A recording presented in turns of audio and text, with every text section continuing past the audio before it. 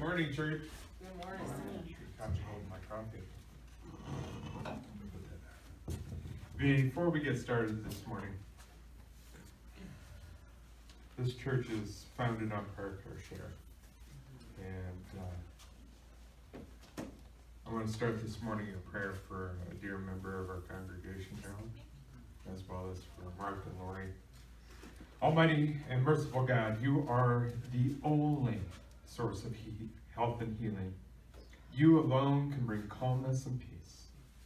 Grant to our brother Harold an awareness of your presence and a strong confidence in you. In his pain, weariness, anxiety, surround him with your care. Protect him by your loving might, and grant to him once again the gifts of health and strength and peace. Through our Lord Jesus Christ. Amen.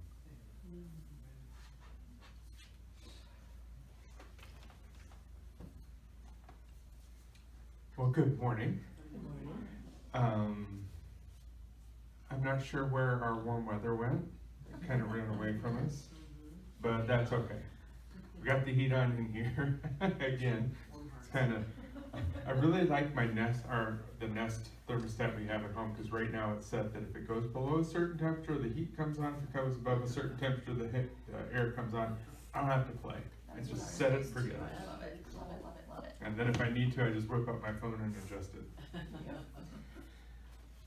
But if you are watching online, welcome as well. Uh, we'd love to know that you're here. Please uh, either like the video or even better, say hi so we know that you're here. Coming up this week, we have our men's, or our men's, I'm jumping way ahead of myself. We have our Bible study and prayer time at 7 o'clock. We invite you to join us for that. Following that, the in two weeks, uh, we will be having our men's breakfast right here at uh, 9 a.m. So the sanctuary becomes a restaurant. And then right after that, we're going to change it up and turn it back into a movie theater. And we are showing the movie uh, The Shack. Now, uh, this movie is based on a New York Times best-selling novel. I want to stress that novel. This is fiction. The Shack takes us on a father's uplifting spiritual journey. But we want everyone to know that we do recognize the controversial nature of this movie. And that by hosting this event, we are not endorsing the views expressed in this work of fiction. Did I say fiction? Fiction. Can't, we can't stress that enough. But we see it as an opportunity to open discussion into spiritual matters. And I've had a couple of conversations outside of our church about this. And someone brought to my attention that, hey, uh, we've read the book, we haven't seen the movie, but we've read reviews, and there's, and it's like, I know, we know, this is a work of fiction, and I, I let them know that we did put this, that final statement on our website as well as on all of our social media. We can't stress it enough. But if we can take something and we can turn it into a spiritual discussion that we can help someone walk from where they're at, which is likely believing in things like this or other things of that nature, and walk them to a spiritual awakening and an understanding of who Jesus Christ is, really is, and who God really is, then it will have accomplished uh, what we've set out for it to do. Now, if you'd like to check out the trailer for that, go out to our website. Um, you can click on the Grace Street uh, uh, Grace Street Cinema link at the top right, but there's also a pop-up that's going to come up on the screen as well, and you can click there and it'll take you right there, and you can read a little bit more about what the movie's about, see that disclaimer on there, and watch that video. Diane and I have seen the vid- uh, the movie. It is a very good movie, a very good fictional movie. Let me just go back right there. But, um, so we're, we're looking for that. And to take that one step further, we have chosen to do a five-week sermon series following the movie.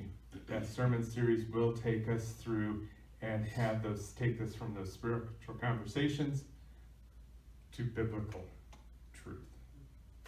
So, uh, now that I've covered that extensively, we'll move on. The following Saturday, we will be having our May Orange Track Racing uh, Series races.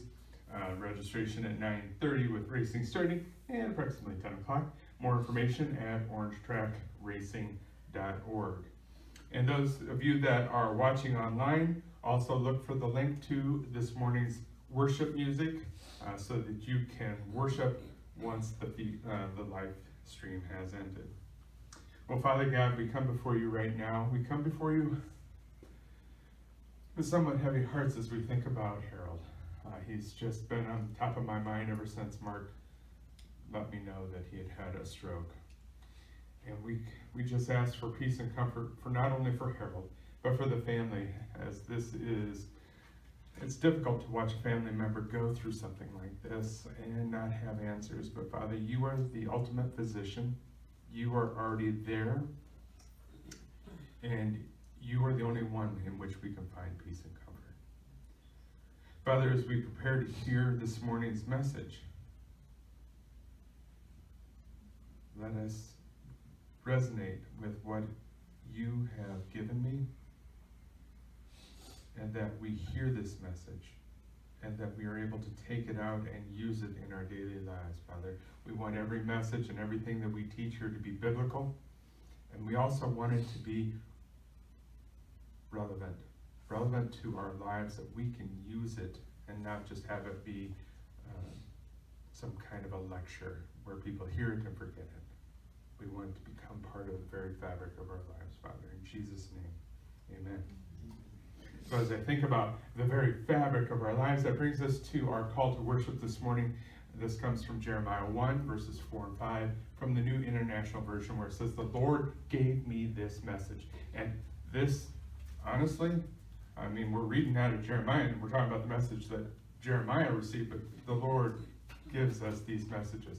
And before I formed you, the Lord said, before I formed you in the womb, I knew you. Before you were born, I set you apart. I appointed you as a prophet to the nations. Now, that last part, I appointed you as a prophet to the nations, that is specific to Jeremiah. The rest of it is for us as well. Jeremiah learned three very important truths about God in this first message that he received. First one is God's knowledge of everything, including us. He knows all. Second thing is God's ability to choose specific people for specific things long before we are born. And then the third thing, God is willing to expand his authority to his people to do what he calls them to do. God set Jeremiah apart to perform a specific task. That was the task of being a prophet, to going out and as you see the, the last part of this, to the nations. Not just Judah, not just Israel, but to the world.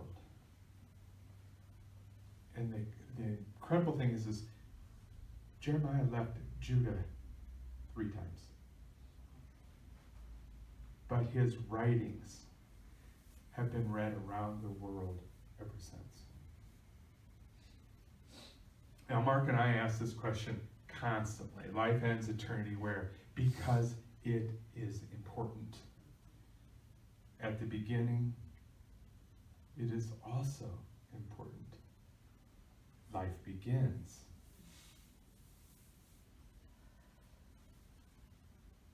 Because in order for life to end, there has to be a beginning. So let's talk about that.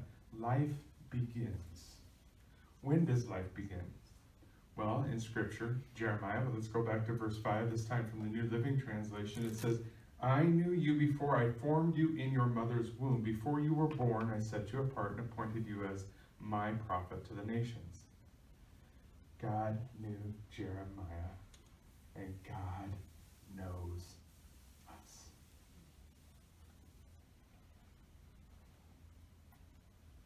Not after we were born, but long before. Long before we were, as the old saying goes, a, a twinkle in our mother's eye. Long before we were conceived.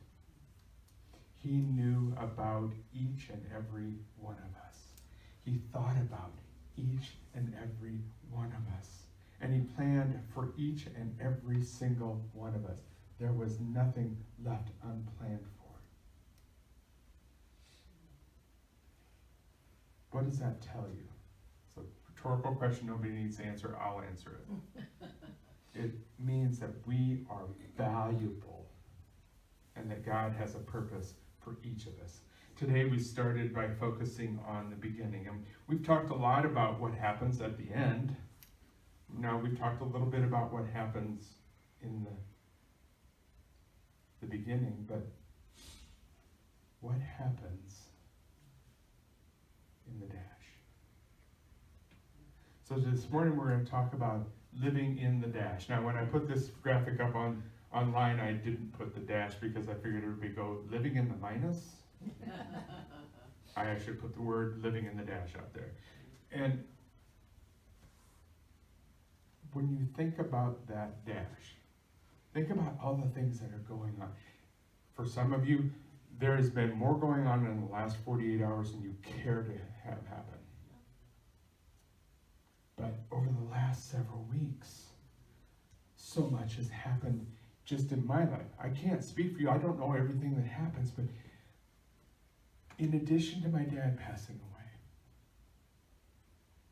I've had several friends who have lost family members just in the last few weeks. High school friend TJ, he lost his brother Tyler. Then uh, high school classmate of Diane's, and he actually was the CNA uh, where Diane's grandmother was at. His father passed away. So when I say Terry lost his dad, I'm not talking about me, I'm talking about uh, someone else. And then I just found out that uh, a friend from, another friend from high school just lost her father. When stuff happens like this in our lives, we are in shock, we grieve, and then this truth hits. And I've said this today and the other day. We had the met we had the service for dad on, on Saturday a week ago, and then all of a sudden life just kept moving forward. Life didn't stop. Now, eventually, we will all have two dates showing on a gravestone or a marker, and some gravestones show differently than others, but the one that sticks out to me has a dash between the dates. I found a blank one, so I went ahead and chiseled on it virtually. And beloved husband and father, 1946 to 2023, but there's that dash in the middle. We know what the beginning number is, that's the birth year. We know what the ending number is, that's the year of passing. But what happened in those 76 years living in the dash?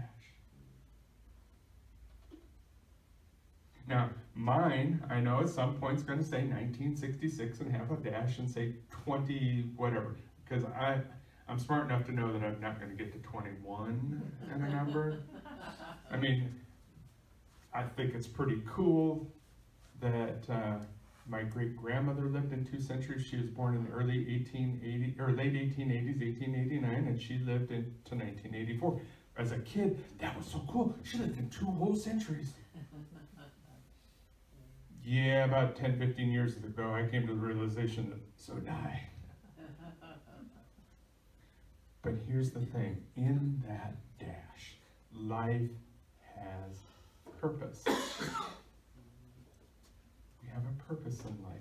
Now, uh, we have our plans, and God has His plans, and then I get on social media this morning, and Benjamin Watson, who is an incredible athlete, he's retired now, but he put up this graphic on his social media this morning. My plan, God's plan. Sometimes God doesn't do things the way we think he should. But God has a perfect plan for our life. He has a perfect purpose for our life. So I go back to life has purpose. We need to trust in God. For Jeremiah, that purpose was as God's prophet to the nations. And regardless of what you or I are called to do, we should always do it for the glory of God. And not only that, but we need to accept it and we need to do it with diligence. If you are not sure what that purpose is yet, because people in all walks of life from beginning to end still sometimes wonder what that is, we can do something. We can follow the mission that all believers have, and that is to love, honor, obey, and serve God.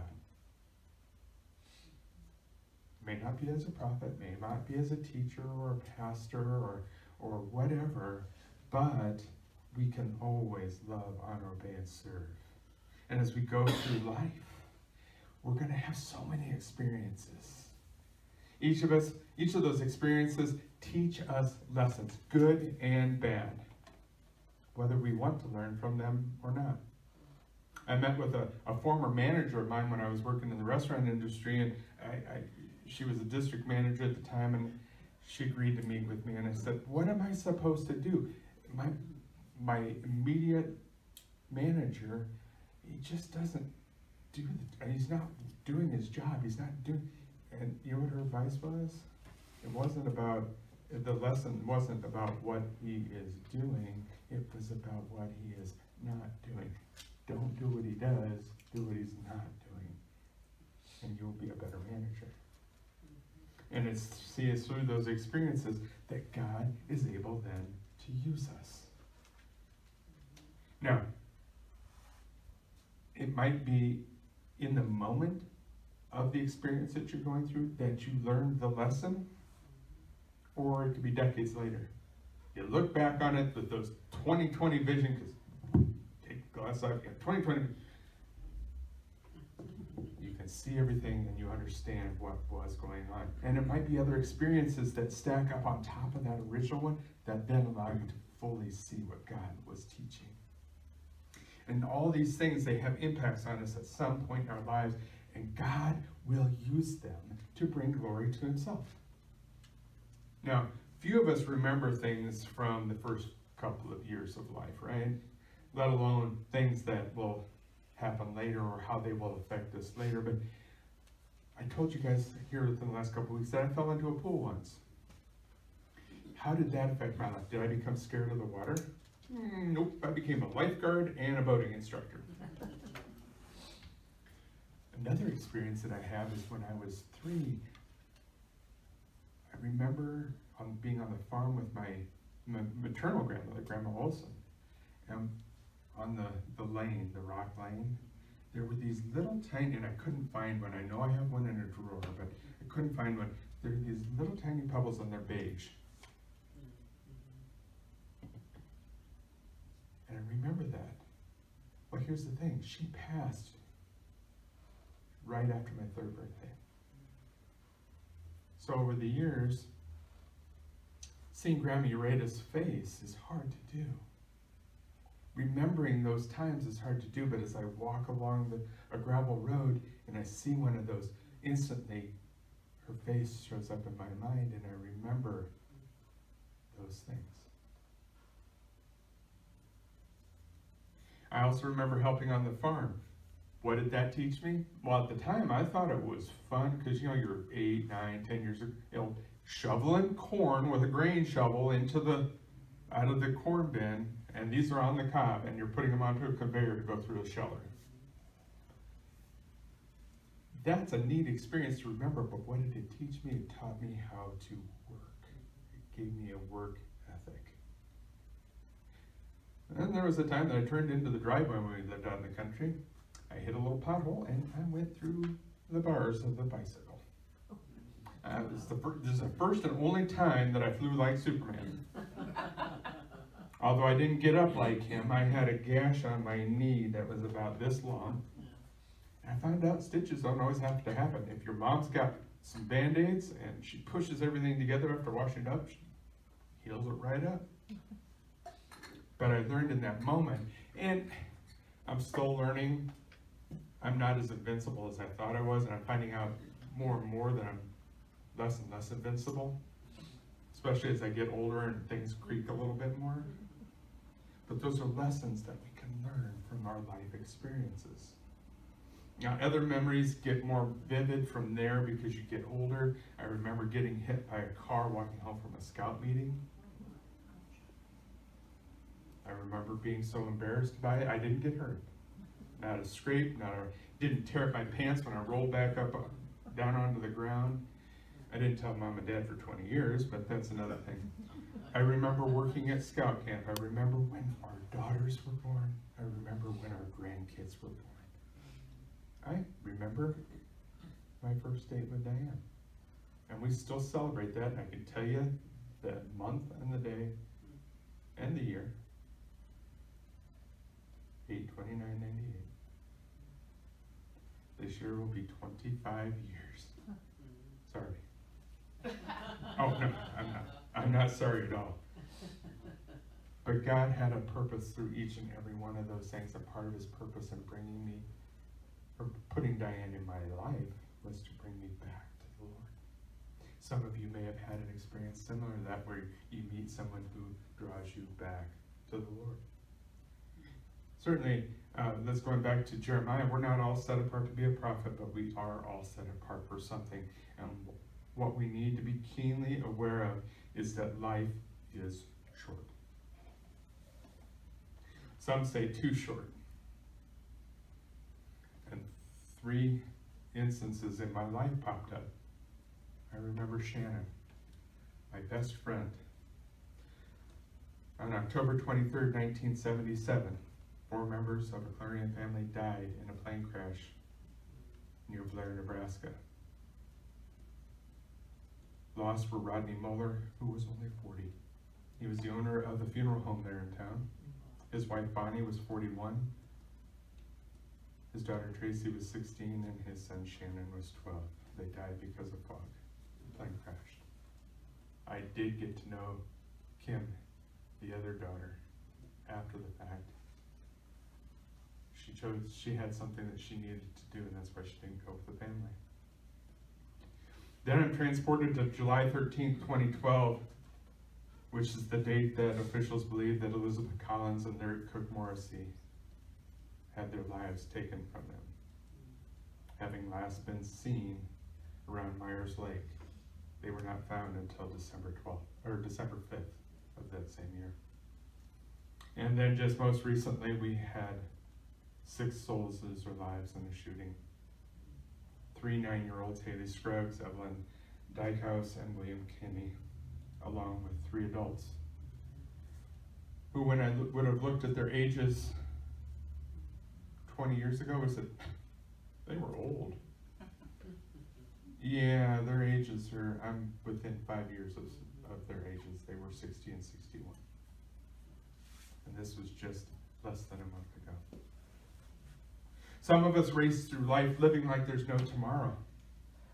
We do things that we probably shouldn't do and, and we don't worry about things, but some of us worry all the way through it. Because, oh, what's tomorrow going to bring? Oh, what's this going to be? Uh, I've been there, done that.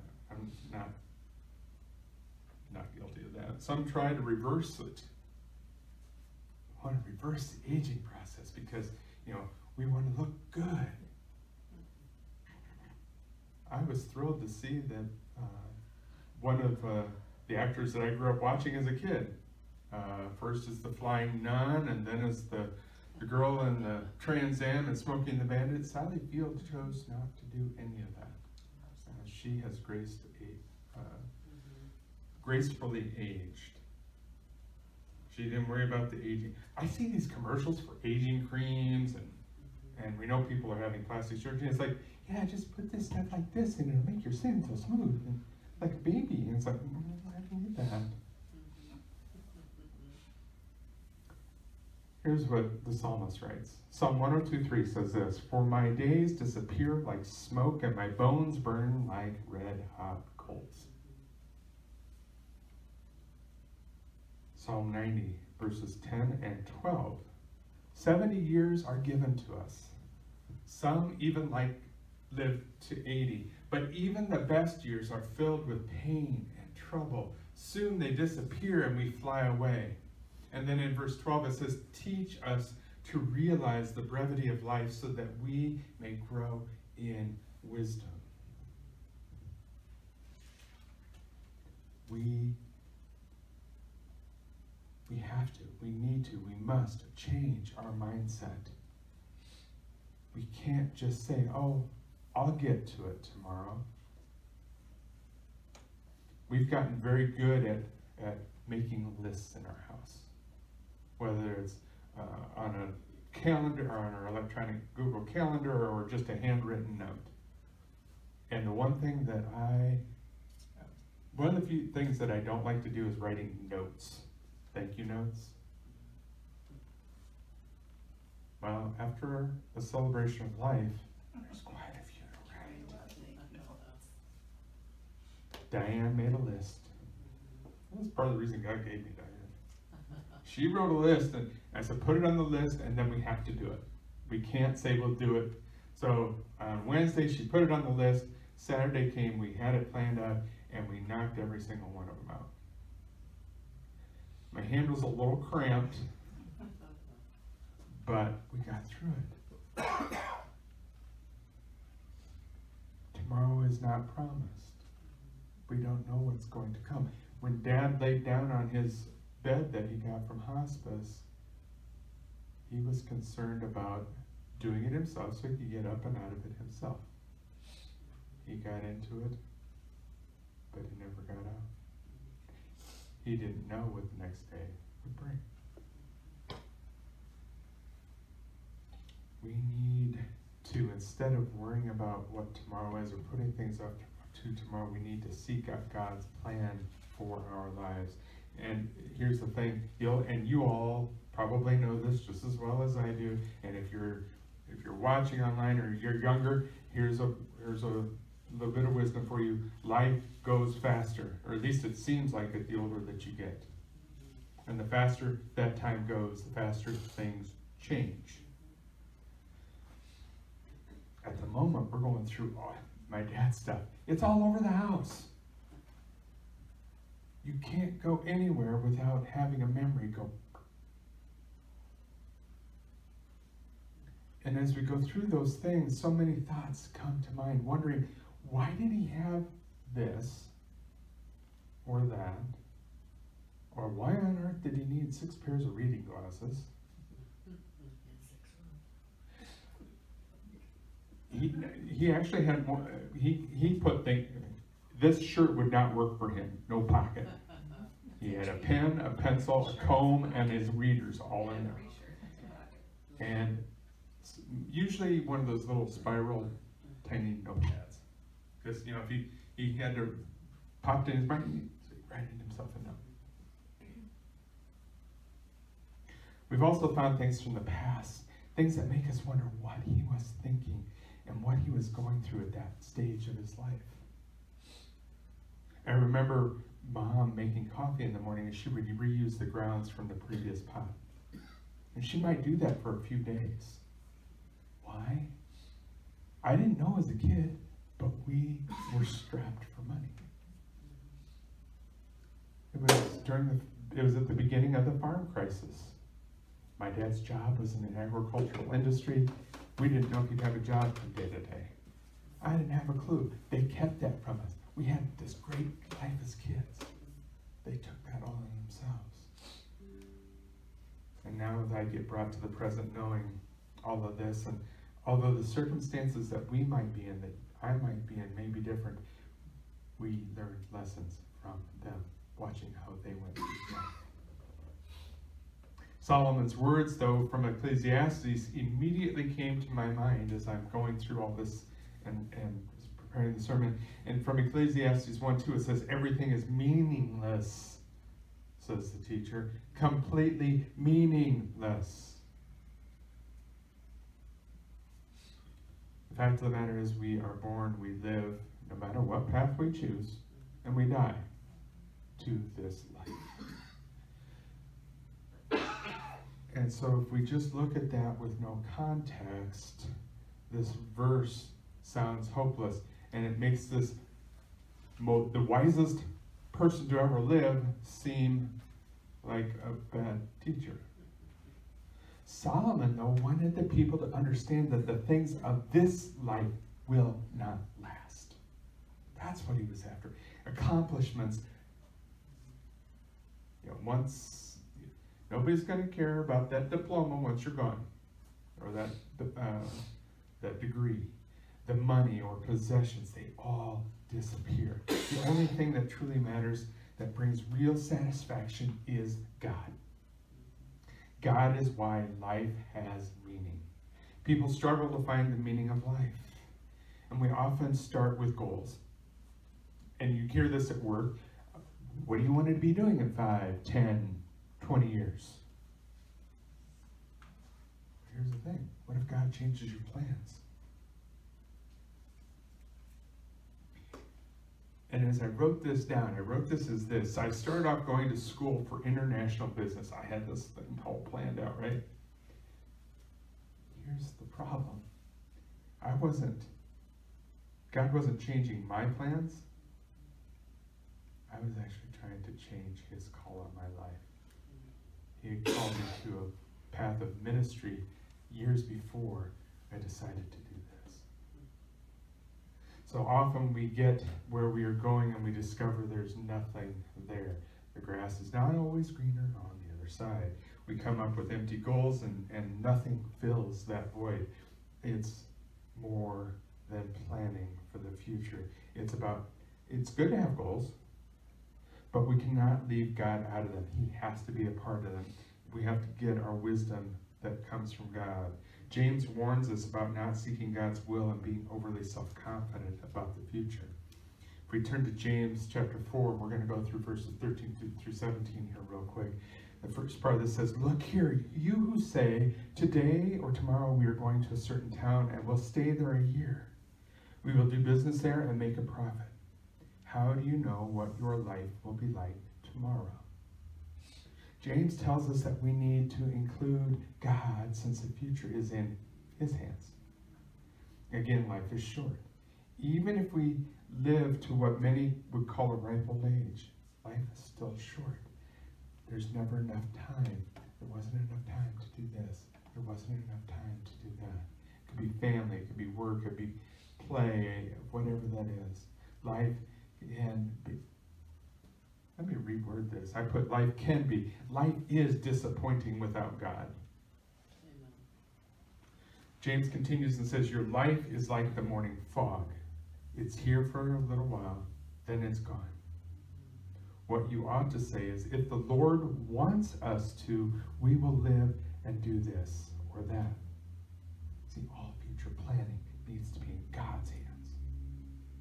And he finishes this in 16 and 17 saying, Otherwise, you were boasting about your own plans, and all such boasting is evil. Remember, it is sin to know what you ought to do and then not do it. It's a sin of omission. Sin isn't just doing wrong, it's also not doing what is right.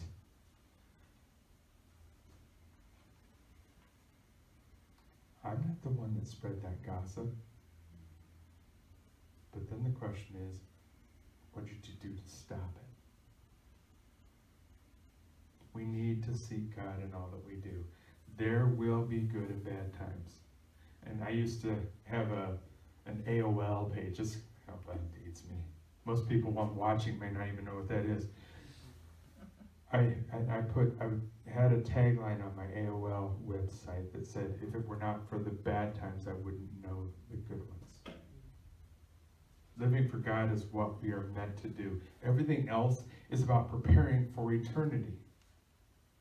Let's look at Matthew 16, 24 and 28. Then Jesus said to his disciples, If any of you wants to be my follower, you must turn from your selfish ways, take up your cross, and follow me. If you try to hang on to your life, you will lose it. But if you give up your life for my sake, you will save it. And what do you benefit if you gain the whole world but lose your own soul? Is anything worth more than your soul? For the Son of Man will come with his angels in the glory of his Father and will judge all people according to their deeds. And I tell you the truth. Some standing here right now will not die before they see the Son of Man coming in his kingdom. Jesus Jesus' disciples certainly knew what this meant. Condemned criminals would be beaten and then forced to carry their cross through the streets to where they would be executed by crucifixion. They understood that to follow Jesus was a true commitment. They understood the risk of death was all too real, too real, and there was no turning back. We are very fortunate that this is not our reality.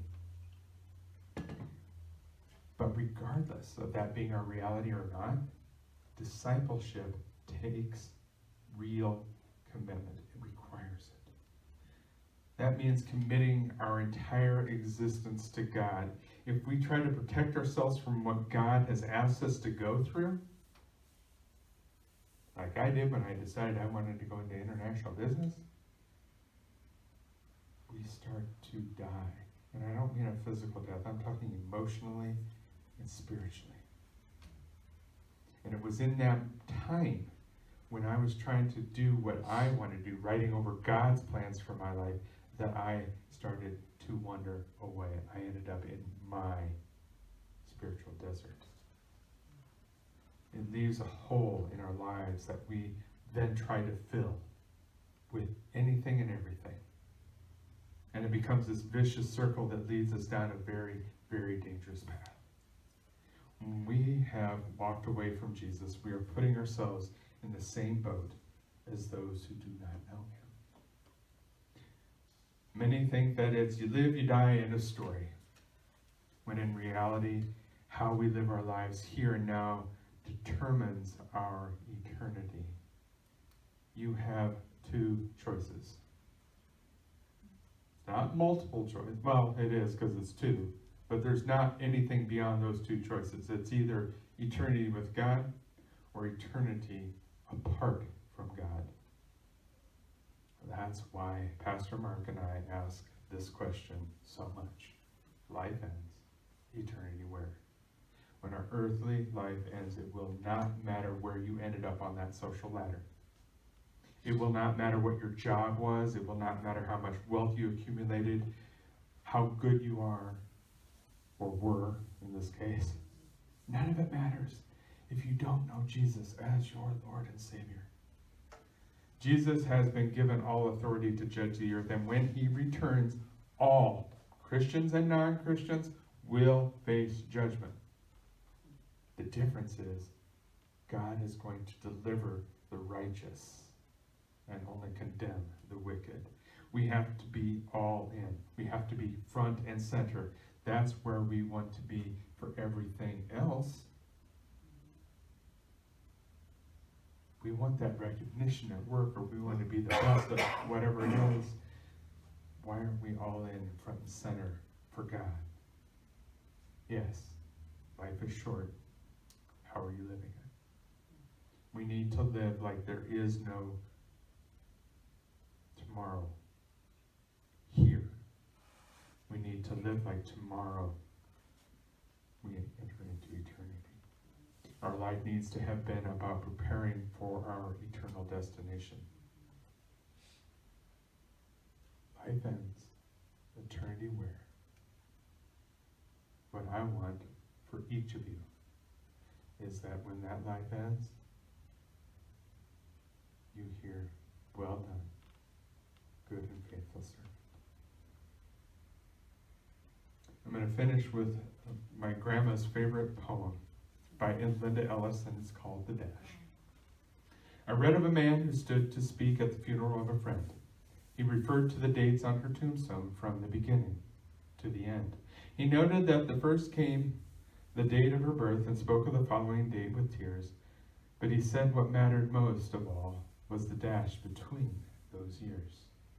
For that dash represents all the time that she spent alive on earth, and now only those who loved her know what that little line is worth. For it matters not how much we own, the cars, the house, the cash. What matters is how we live and love and how we spend our dash. So think about this long and hard. Are the things you'd like to change? For you never know how much time is left that can still be rearranged. If we could just slow down enough to consider what's true and real and always try to understand the way other people feel. And be less quick to anger and show appreciation more and love the people in our lives like we've never loved before. If we treat each other with respect and more often wear a smile, remembering, remembering that this special dash might only last a little while. So when your eulogy is being read, with your life's actions to rehash, would you be proud of the things they say about how you spent your dash? Father, as we prepare for a time of communion, Father, coming before you and communing with you, remembering what Jesus did for us on the cross. We remember what he did in the dash of his life. We remember the lessons that we learned through the scriptures from the apostles and the other writers. Even those who were secular historians recognize your son.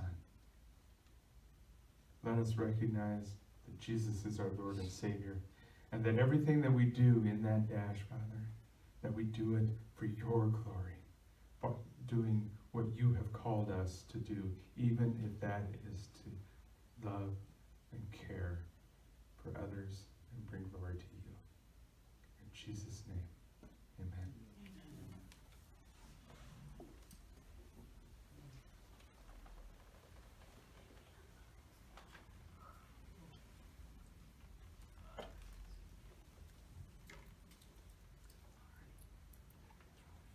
It was on the night that Jesus was betrayed that he took the bread breaking it, he looked at his disciples and he said, This is my body broken for you. Take and eat. And then later in the meal, when he took the cup, he filled it, telling them that this is the blood of the new covenant, his blood shed for our sins, making us righteous in front of the Father. Scripture reminds us that as often as we eat of this bread and drink of this cup, we are to do so until Jesus' return. I look forward to that time. The body of Christ broken for you. Take. The blood of Christ shed for you. Take and drink.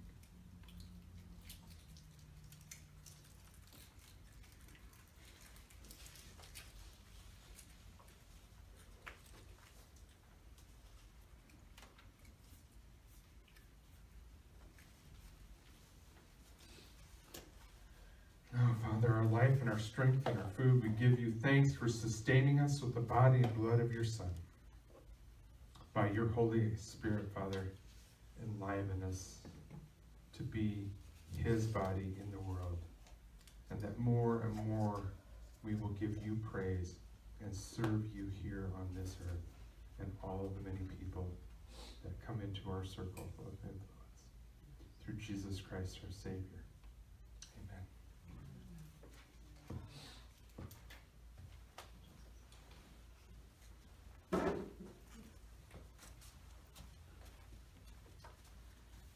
Oh, good morning, everyone. And, um, we are gonna lift Harold up this morning and Lori and Mark. Um, yeah, Mark texted me just a little, I got, I need to step outside. Um, he just had another bad seizure and they're asking, and they're taking him for another CT scan. He's in a lot of pain and they're going to give him Tylenol via IV. Mark had to, just had to leave the room while they take him to imaging, so let's pray and then I'm gonna Yes, step yes. out and call. Oh, Father God, we just, we thank you for Harold's life. We lift him up to you, Jesus. Just comfort him at this time. Take the pain away, Lord God. You are God and you are walking with him right now. Help him to be strong and courageous and boldly understand who he is with, Lord Jesus, and just comfort him in this trial. Lord God, don't let him suffer so badly. For you are God, and, and just love, Lo- we love Harold, Lord Jesus. And we love Lori and Mark. Just comfort their hearts and their minds. And know that, you know, Harold has lived such a glorious life for you, Jesus. And we just thank you for him at this time. And we just put him in your care, Jesus. For you are God the protector, God the Father, God the healer of all things. So just comfort them as they go through this trial today and every day after this. In Jesus' name, we thank you, Father God. In Psalm 62, 5 and 8, Find rest, O my soul, in God alone. My hope comes from Him. He alone is my rock and my salvation. He is my fortress. I will not be shaken. My salvation and my honor depend on God. He is my mighty rock, my refuge. Trust in Him at all times, O people. Pour out your hearts to Him, for God is our refuge. Father God, I lift up Monica Burkhart. She's had a um, gastro procedure on Tuesday and is waiting for results. Lord, I just put her in your hands, Lord Jesus, and I pray for good results for her, Lord Jesus. Do not let it be cancer or anything terrible that they cannot repair um, through just medicine or um, something simple, Lord Jesus. Be with her and comfort her in this trial that she is facing. Thank you, Father God. We ask for continued prayers for Atlas's son Demetrius, all my grandsons and granddaughter, and we also ask for prayer for Monica's son Matt. And we praise you, Father God, for these young men and women. Guide them, Lord Jesus, through each and every day. Put Christian people in their paths. Lead them not into temptation, but deliver them from the evil one. Do not let them be shaken. Bring them into a right relationship with you, O God. Hold on to them and never let them go. Thank you, Jesus. We pray for all those that have been devastated by many tornadoes, flooding, and much snow in the last several weeks. Lord, I feel like you are wanting people to see you, to repent, and to pray, to look for you for all things. Please open the eyes of people. Help them to know you are Jehovah Rapha, the God who heals and restores all who come to you. You will provide the help through the storms. For you are the God and Father, you are God the Father, God the Son, and God the Holy Spirit. Help our nation to wake up and know who you are.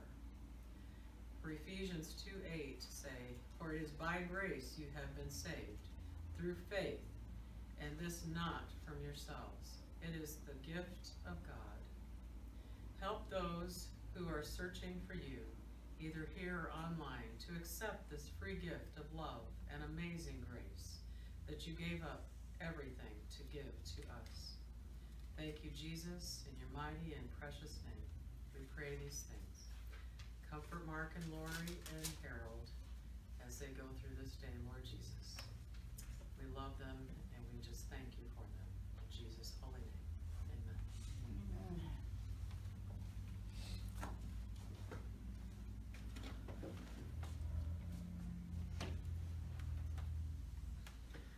As we work our way, going between that first day and the second day, as we live in the dash, I'm reminded of two things. One comes from Ephesians 6, and Paul writes, Finally, be strong in the Lord and in his mighty power. Put on the full armor of God so that you can take your stand against the devil's schemes. For our struggle is not against flesh and blood, but against the rulers, against the authorities, against the powers of this dark world, and against the spiritual forces of evil in the heavenly realms.